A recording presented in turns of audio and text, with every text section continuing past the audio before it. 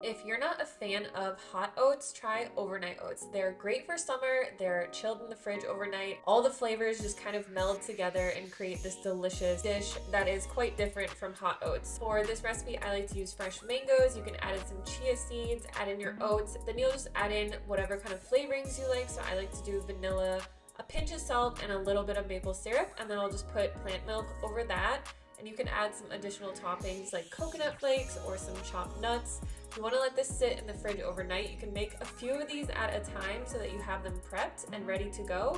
All you have to do is just grab this when you're on your way out the door for work and that's it. You have breakfast prepared.